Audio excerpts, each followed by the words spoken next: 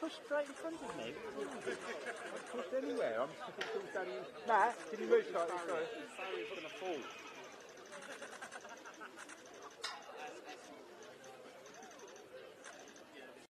We start with today's breaking news.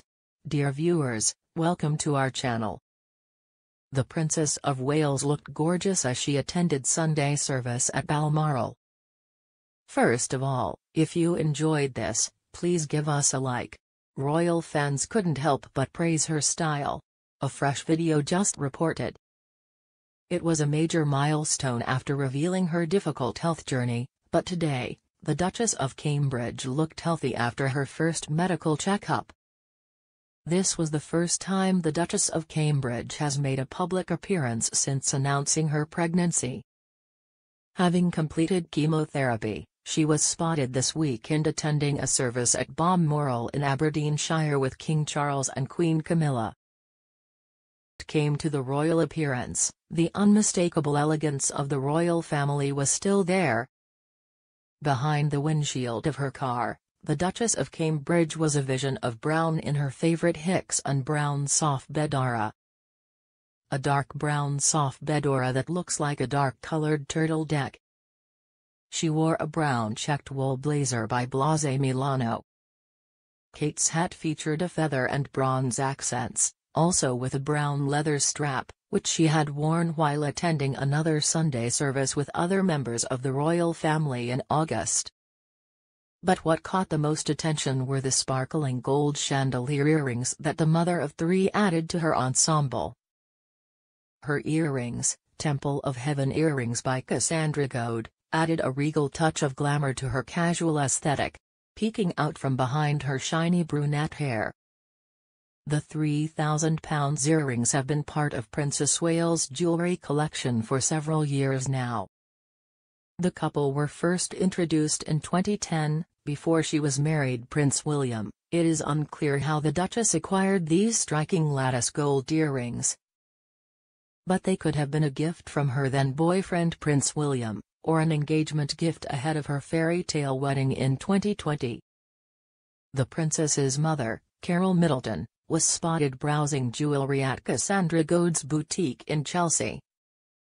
As for Prince William, he appeared in a tailored suit and blue tie. Assuming she and her family are fans of the brand.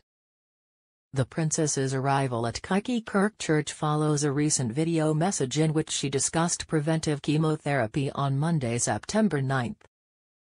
Her decision to speak publicly about her healing process is a testament to her brother's courage and her desire to inspire others facing similar struggles by sharing her own struggles and triumphs. She has become a beacon of hope for many, showing that people can find strength and beauty in the face of adversity. The Duchess has not yet returned to her busy schedule of public duties. We will carefully consider her future appearances based on her state of mind at the time. She has no set timetable for returning to full-time duties, as she is given the time she needs to rest and recover. In addition to her royal duties, the princess has also had the pleasure of the simple joys of life. She was frequently spotted engaging in outdoor activities, from hiking in the Scottish Highlands to sailing along the Cornish coast.